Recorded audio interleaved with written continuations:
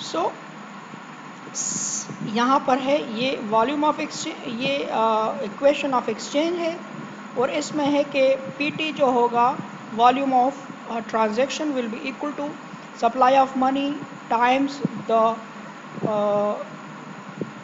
turnover rate of each dollar turnover rate क्या कहते हैं? टर्न ओवर रेट का मतलब है कि एक डॉलर वन डॉलर कितने दफ़ा ट्रांजैक्शन में यूज़ होता है?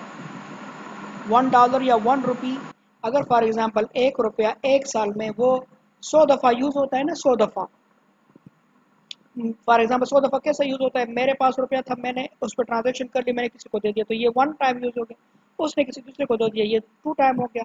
उसने ट्रांजेक्शन करके तीसरे को रुपया दे दिया, फिर चौथे, फिर पाँच में तो ये इसको क्या कहते हैं? वेलासिटी ऑफ़ मनी कहते हैं। क्या कहते हैं इसको? वेलासिटी इसको हम कहते हैं turnover rate of each dollar इसको क्या कहते हैं? Turnover rate of each other तो यहाँ इसको क्या कहते हैं?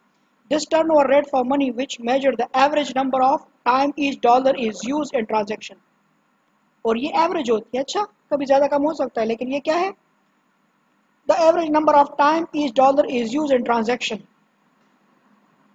during the during the period और उसको क्या कहते हैं? स्कॉट वेलोसिटी ऑफ़ मनी इसको क्या कहते हैं?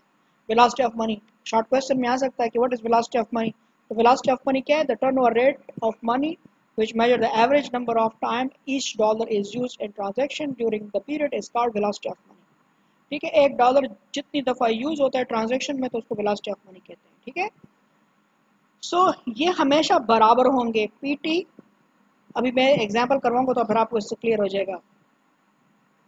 Volume of transaction should be equal to supply of money times velocity of money ठीक है? देखिए फॉर एग्जांपल यहाँ पर एक एग्जांपल है। वही इक्वेशन ऑफ़ आइडेंटिटी के इक्वेशन को एक्सप्लेन करते हैं। ठीक है, देखो इधर। फॉर एग्जांपल करते यहाँ पर चूँकि ये इक्वेशन ऑफ़ एक्सचेंज है, इसमें एम क्या है? क्वांटिटी ऑफ़ मनी है। ठीक है? और वी वी यहाँ पर सिर्फ़ वी है। वी क्या चीज़ है? इज़ द ट्रांजेक्शन अच्छा ये टी ट्रांजेक्शन हो गया। टी ट्रांजेक्शन हो गया। और वी जो है, ये वेलोसिटी ऑफ़ मनी हो गई। ठीक है? वी क्या चीज़ है? टी ट्रांजेक्शन हो गया और वी वेलोसिटी ऑफ़ मनी हो गई। अब पी टी क्या है? P T is the price index for item traded P T ठीक है? क्या हो गया? पी टी जो हमने लिखा है तो इसका मतलब है प्राइस इंडेक्स है फॉर द आइटम ट्रेडेड जितने भी आपने आइटम किए हैं तो उसका इंडेक्स होता है। इंडेक्स यानी उसकी उसकी क्या हो गई? टोटल प्राइस इंटू ट्रेडेड उसकी वैल्यू हो गई।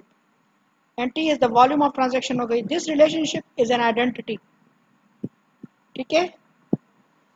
अब एक्सपोर्ट डेफिनेशन जो पहले हमने डेफिनेशन कर ली है वेलोसिटी की। फॉर एग्जांपल किस तरह आइडेंटिटी है आइडेंटिटी का मतलब क्या होता है? आइडेंटिटी सीख लें आइडेंटिटी क्या है? इक्वेशन आइडेंटिटी में क्या फ़र्क है? याद रखो। मिसाल के तौर पर आप लोग लिखते हैं ना A plus B whole square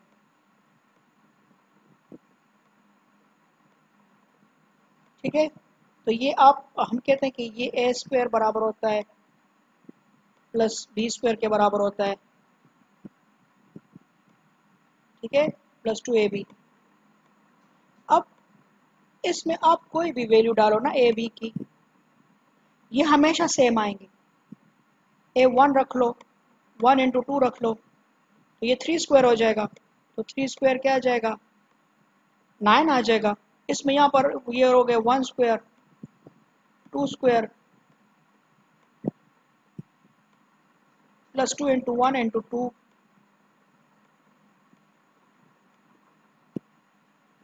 तो ये क्या आएगा? नौ आएगा, एक एक और दो, चार चार और चार, आठ, नौ। तो ये हमेशा इसमें जो भी आप वैल्यू डालोगे तो ये हमेशा इक्वल आएँगे। दोनों साइड क्या आएँगे? इक्वल आइडेंटिटी को कहते हैं जिसके दोनों साइड हमेशा बराबर होते हैं। हमेशा ऑलवेज और इक्वेशन क्या चीज़ है? इक्वेशन जो है ना इक्वेशन किसे कहते हैं? जिसके हमेशा दोनों साइड बराबर ना हो। मिसाल के तौर पर मैं लिखूँ X plus five is equal to is equal to eight ठीक है? अब ये इक्वेशन है, क्योंकि इसमें सिर्फ़ एक्स की वैल्यू क्या होती है? तीन। बाकी के लिए ये हमेशा साबित नहीं है। ये सिर्फ़ ट्रू है किसके लिए? एक्स इज़ इक्वल तीन के लिए ट्रू है। अगर मैं एक्स की वैल्यू तीन रखूँगा ना तो ये ट्रू होगी। सिर्फ़ एक वैल्यू की, बाकी के लिए किसी के लिए ठीक नहीं है। तो इक्वेशन क्या होती है? It is true for one value या टू वैल्यू और आइडेंटिटी क्या होती है? It is equal it is it is always equal the both side are always equal ठीक है? तो यहाँ पर आइडेंटिटी है आइडेंटिटी का मतलब ये है कि इसके हमेशा दोनों साइड एम वी हमेशा बराबर होते हैं पीटी के किस तरह देखें इस तरह? This relationship is identity call the export जो हमने डेफिनेशन की वेलोसिटी की। If for example over a given period of volume of transaction and current suppose इसकी ट्रांजैक्शन जो है ना पीटी टोटल ठीक है? टोटल ट्रांजैक्शन है। टोटल ट्रांजैक्शन लेट सपोज़ पूरे मुल्क में छत्तीस सौ रुपए की हो गई। ठीक है? छत्तीस सौ की हो गई। यानी इसको अगर हम इसकी डिट कर लें ना इसको वी को साइड पे कर लें और पी टी हो गया। P T divided by M कर लेना।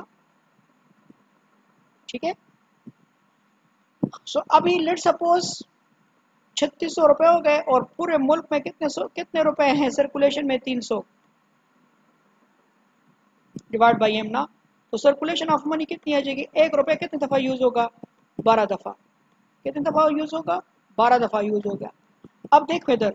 अब यहाँ देख लें, बारह सौ। ये वेलासिटी ऑफ़ मनी बारह है। ठीक है? और एम कितने हैं? एम तीन सौ है। तो ये क्या हो गया? इससे भी छत्तीस सौ आएगा। और टोटल वॉल्यूम ऑफ़ ट्रांजेक्शन कितनी है? वो भी छत्तीस सौ है। ठीक है? तो ये हमेशा दोनों साइड क्या होंगे? बराबर होंगे, ठीक है ना? दोनों साइड हमेशा क्या होंगे? बराबर होंगे।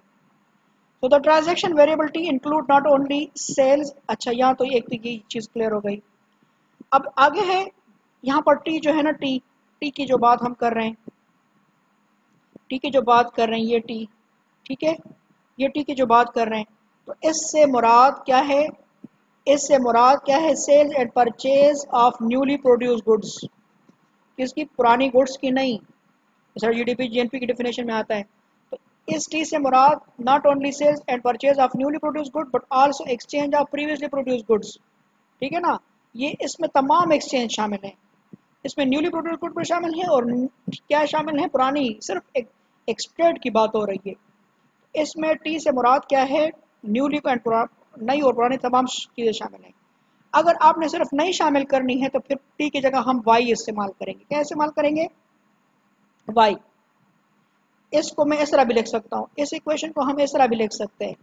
ये M V equal to P Y अब जब वाई मैंने इस्तेमाल कर लिया वाई तो वाई सिर्फ़ न्यूली फिर क्या होगी? इसमें फिर क्या होगी? न्यूली प्रोड्यूस गुड्स की वैल्यू होगी। अच्छा फिर प्रीवियसली परचेज गुड्स की वैल्यू नहीं शामिल होगी, ठीक है? अगर हमने क्या करना है, सिर्फ़ न्यूली प्रोड्यूस गुड्स की वैल्यू शामिल करनी है तो फिर इक्वेशन हो जाएगी जी M V M V is equal to P V ठीक है ना? ये क्या हो जाएगी? M V is equal to P Y तो वाई क्या है? नेशनल इनकम पूरे ट्रेड की जगह वाई आ जाएगी.